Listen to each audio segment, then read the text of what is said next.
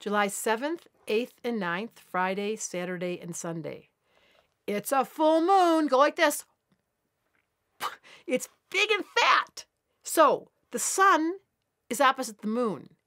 And once a year, Pluto is right next to the moon. Here we go Pluto and the moon. In Capricorn.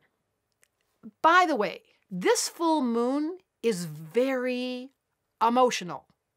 And if you felt like crying, my suggestion, said the Cancer during this month, is let yourself cry. Why is crying such a bad thing? How come boys can't cry?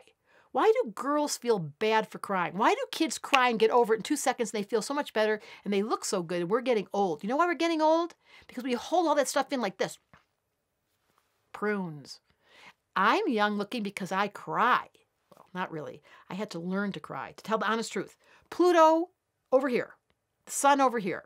Just that is a very intense combination Capricorn, Cancer. But the moon and Pluto over here, standing here saying, I want some attention. Now, let's describe I'm giving a free webinar on Monday called Thank Heaven for Little Stars because this is the ultimate conversation between Cancer and Capricorn. Cancer is the quintessential mother, parent. Cancers feel so responsible for their kids. They never know when to let the kid out of the house, let alone stop paying for them. Have you noticed? And Capricorn's like, oh my God, that's so irresponsible and impractical. Why are you paying for your kids? And there's all these entitled kids on the planet now because we've spoiled the poop out of them. It's okay to swear in these videos. I don't want to hurt anyone's feelings because it's a full moon in Capricorn. I'm trying to be proper. So let me make it simple. If you want a free video, you can watch me on Monday. It's a webinar called Thank Heaven for Little Stars. You go to my website, debrasilvermanastrology.com. That's one option. However, these next few days, as we go through this weekend, and it's a full moon, and the emotional energy's high, and your kids are bugging you or your family's bugging you, it's your chance to say, This is the art of Cancer Capricorn to calm down. Take that wild emotional sensitivity and the guilt and the feeling you got to take care of everyone and put it into the door called practical. Open the door called practical, sit down and go, why do I support my kids and not give them freedom to get the mistakes they need to learn? Why do I feel responsible for everybody I love, said the Capricorn Cancer, and want to fix everything? Because I don't trust that they can make a mistake and learn from it?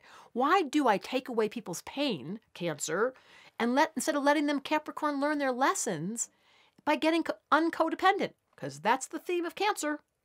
The mother, the parent, totally obsessed with wanting to take away your pain. You know what? We can't learn without pain. I hate to say this, but in the soil of pain is wisdom. Who made that up? I don't know, but I wrote it in my book, The Missing Element. If you want to go get my book. In the soil of pain, wisdom grows. And I am a wisdom hawk. Like I'm committed. That's why I'm here with you. Want to see me fly? That's so not Cancer Capricorn. Be appropriate. The appropriate message here for this full moon is you must take your emotional body and your neediness or your codependency or your over obsession to help other people and get practical and say, Can I let someone have pain and learn their lessons without getting in the way? Great question, Debra. Astrology Answers told me to tell you that. Full moon, if you're not sleeping well, it's not going to be a surprise. Ride the wave. It's almost going to be over in a few days that way.